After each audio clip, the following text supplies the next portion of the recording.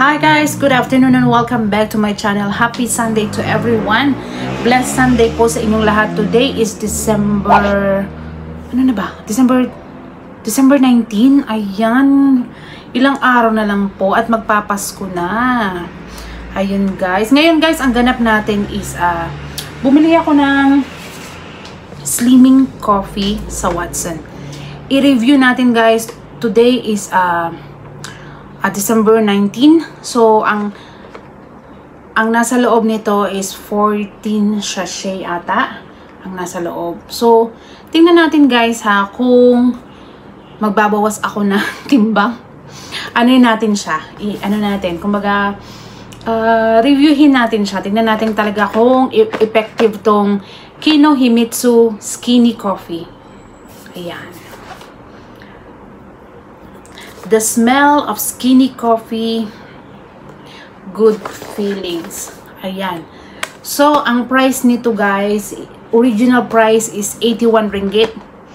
Okay, 81 ringgit. Pero hindi natin to nabili ng 81 ringgit ha. Wala tayong pambiling 81 ringgit. Kasi nagbabalak talaga ako bumili guys ng ano, ng, ng uh, Glutalipo. Ayun, Glutalipo nga. Nagbabalak ako uh, uh, bumili sa mga Filipino store dito. Pwede naman akong umorder sa ating mga kababayang Pilipino na nag, nagtitinda. Pero nakita ko kasi to sa Watson, so itry natin. At least, in, kumbaga sa susunod, hindi ako mahihirapan na humanap. So ito is for 14 days. Ano lang siya, once, one cup a day. Alright. Meron siyang gar, uh, Garcinia Cambogia. Ano yun? Ayan. So, sige, basahin natin. Direction of use. Mix 1 sachet with 150 ml in a hot water. So, ayun. Meron siyang precaution if you if you are pregnant, uh, lactating or other medication, please consult your physician before taking any uh, nutritional product.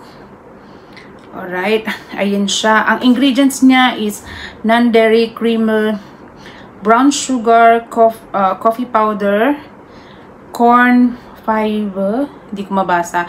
At saka yun nga, car carne, Garnesia cambogia. Pa, boom, ano yun? Ayan. Ayan yung mga ingredients niya sa loob. Ayan. So, total energy. Ano to guys, ah, hindi siya with rich of flavor that brings you delightful experience, great natural way to feel ener energized and light. Ayun. Ayun siya. So, halal siya. Ayan. So, nakuha natin to sa Watson ng 42 ringgit. 50% off. Nakuha natin to sa Watson. So, sige guys. Buksan na natin. Tingnan natin ang itsura niya.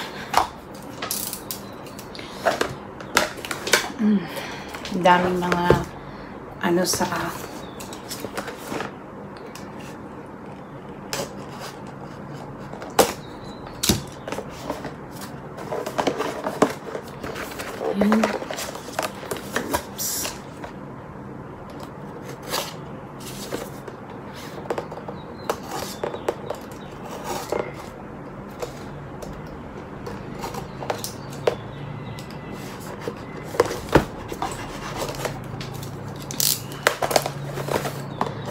So, 81 ringgit. 14 sachet daw siya. Tinanong ko kasi sa labas walang nakalagay kung ilang sachet. Pero 14 daw. Ayan siya. Yan ang itsura niya. Yan. Okay, tingnan natin kung ilang milligram ang isang coffee sachet. Oh, 20 grams. 20 grams lang siya. Ayan. So, ito is a uh, brand ng Kim, Kim, Kimi, Kim, Kino Himitsu. Ano ba yan?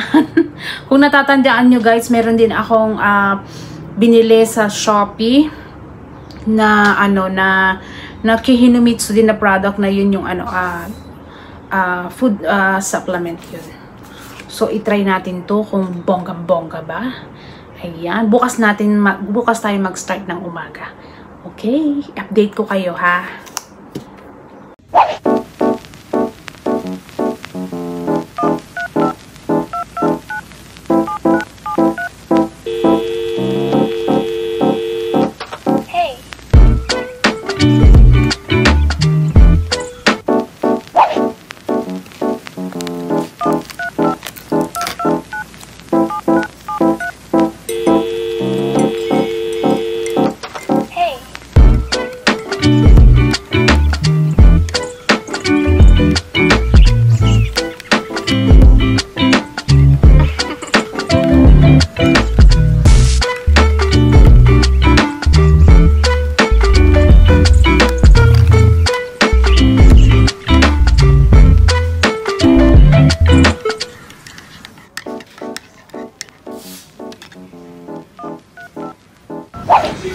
Guys, kung nakikita nyo yung consistency niya, medyo thick. Hindi ko lang alam kung 150 ml to. Kasi sabi 150 ml eh.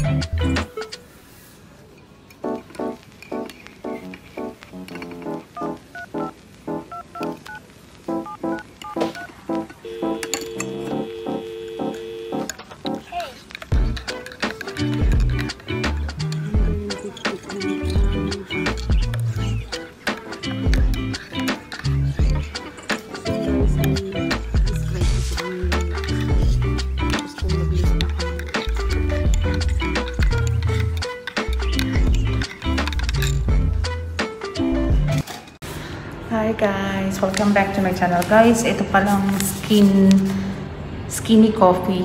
Last ko na to. Last ko na to today. Kaya gusto kong i-update kayo kung anong kung anong ano, kung anong effect, kung anong lasa, ganun. So yung lasa niya guys, ah, yung normal na kape lang pero matabang, wala siyang wala siyang asukal, wala siyang masyadong asukal, yung normal na kape lang. Tapos ah, 150 ml. So, kalahati lang nung baso ko na pinapakita ko sa inyo. Ito, ito. Ayan, kalahati lang siya. Tapos, ah, yung effect niya sa akin, hindi ko naramdaman yung effect. Wala akong naramdaman na effect. Tapos, ah, yung ano, nagugutom pa rin na, lalo akong nagugutom, ganun. Lalo akong nagugutom, lalo akong nagkikrave sa pagkain. Tapos, ah, ah, nag-exercise din naman ako pero hindi frequently, hindi lagi-lagi. Once a week mga gano'n, nag-exercise ako. Pero, so far, parang lumiit naman yung chan ko. Pero tingnan natin, magkikilo ako mamaya pag uwi ko sa bahay. Kasi nandito ako sa opisina, break time namin. So, gusto ko lang kayong i-update kasi last, last ko na to gusto ko na siyang timplahin ngayon after ng lunch.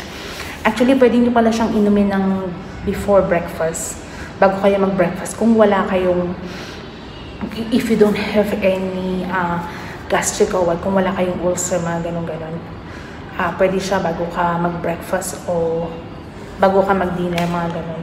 Kasi ako, breakfast lang talaga. Kasi pag, pag uh, sa gabi mag magko-coffee ako or tea, hindi ako makakatulog. So, ayun na nga, yung lasa niya, normal na kape, tapos, uh, syempre, 150 ml lang. So, medyo matapang. Pero for, para sa akin, it's, it's okay. It's fine ang, ano, ang lasa niya. Wala siyang amoy. Parang normal, normal na kape lang talaga. Tapos, uh, yun nga, uh, uh, yun yung effect niya sa akin. Walang, walang ano, lalo ako nagkikrave sa pagkain.